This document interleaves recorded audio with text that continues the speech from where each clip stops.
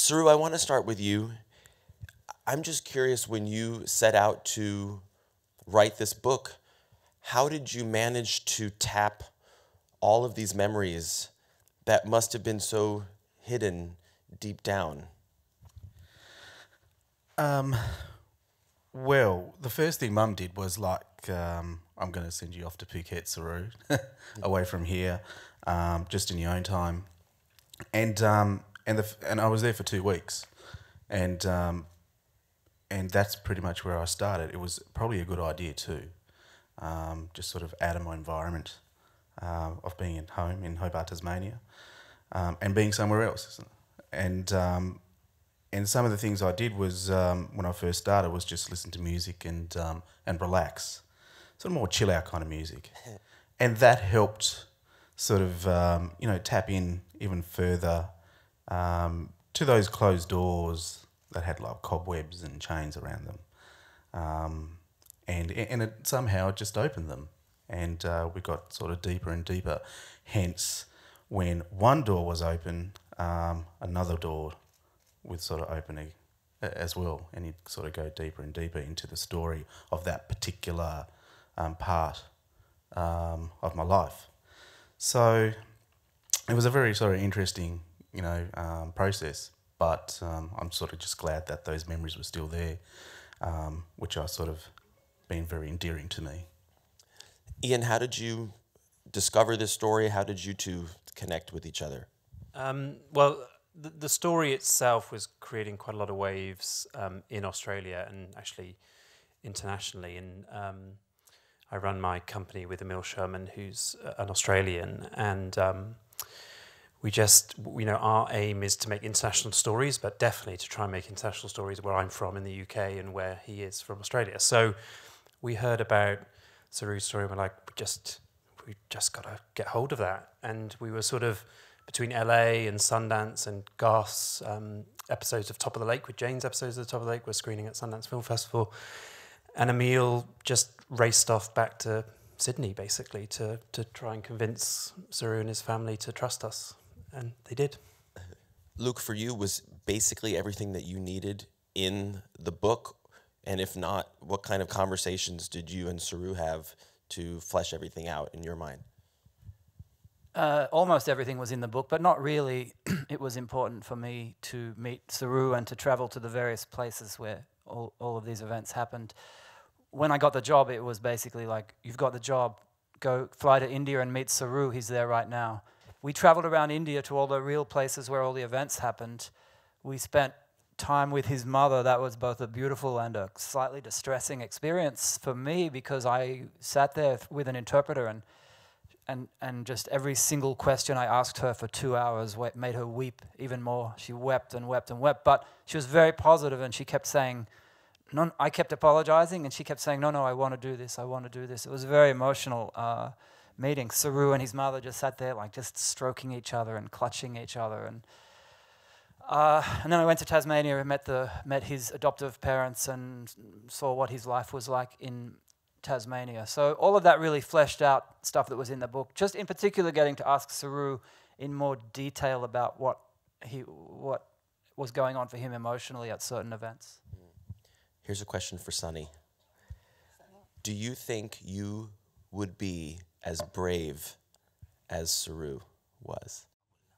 Yes.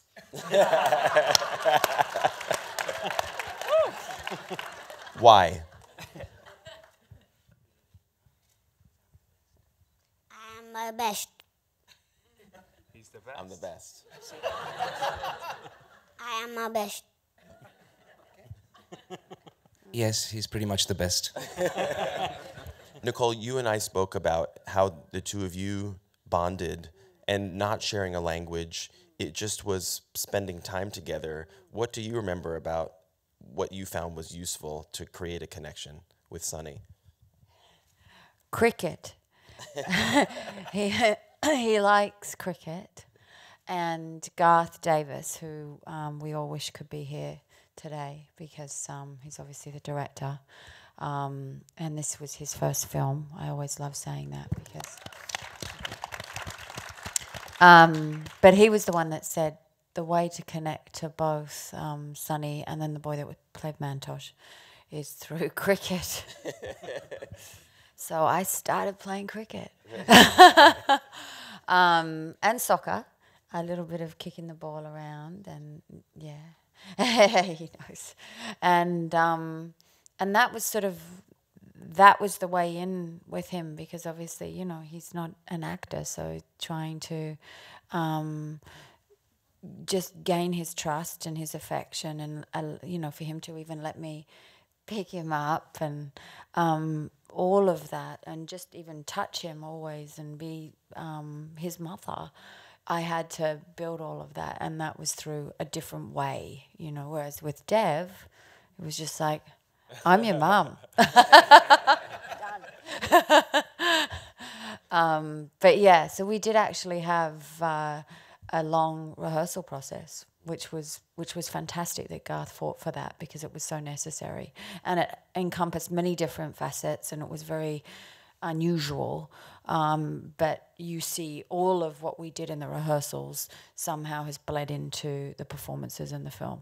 Dev, is it safe to say you've never wanted a part more? You've never fought as hard for a role as you did for this one? Yeah, in fact, I turned up on the doorstep of uh, Luke Luke's house in Koreatown when him and Garth were still writing the script, and uh, you know I went in for this meeting, and Luke was like, "Do not look at that whiteboard; it's classified information." they still had the the beat points of the characters; they hadn't even finished the first act. But uh, look, you know, characters like this don't come around every often for people that look like me. You know, it's a, it's really a once in a lifetime role.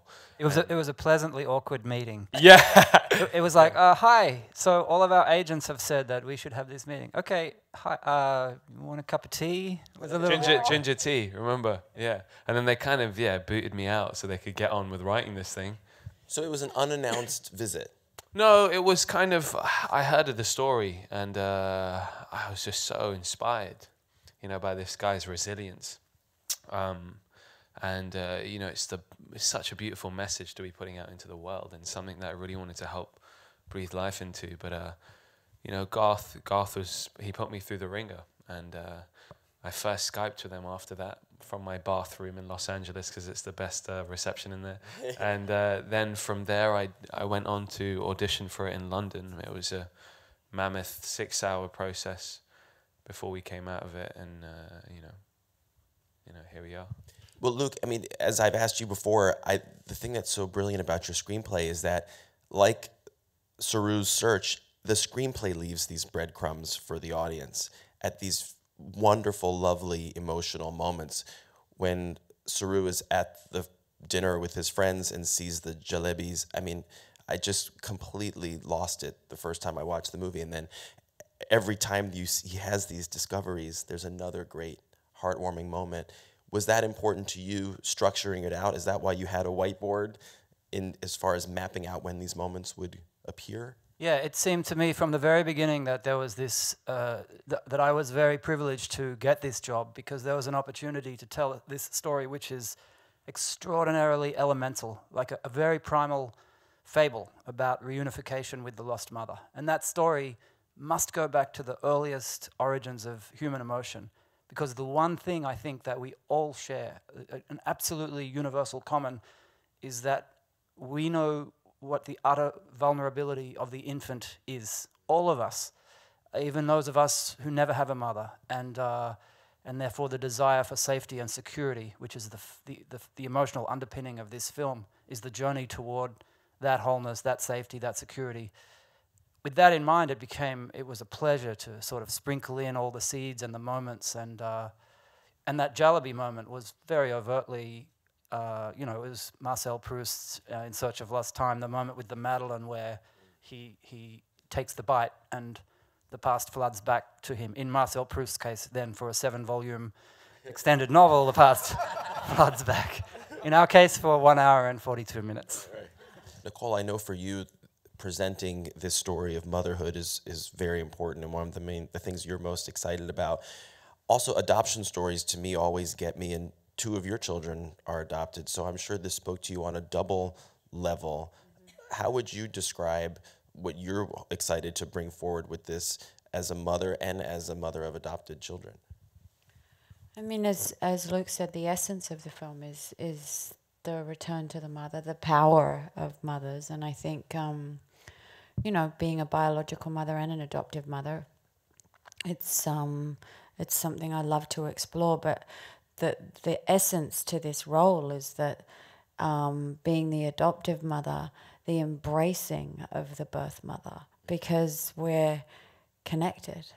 And my favorite line in the whole film is um, when he's shown me all of the the wall and all of the information and what he's put together, and, and he thinks that he's going to hurt his uh, Sue, um, and she says, "No, I I want her to see how beautiful you are."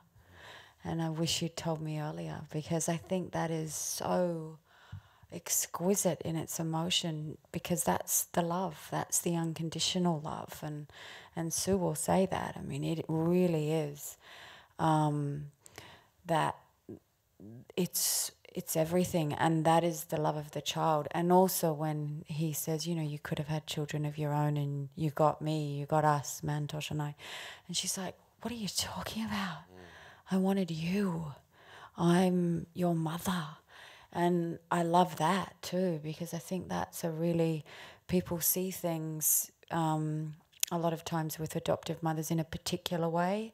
And when you enter into the psychology from a different angle, you um, it, it opens you.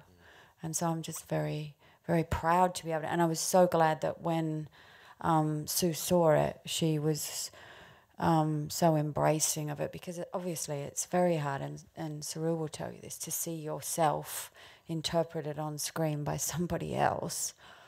And um, probably the most important thing is that she feels um, embracing of the portrayal. I think I speak for everyone when I just say thank you for sharing your story and thanks to all of you for bringing it to the screen. Congratulations, everyone.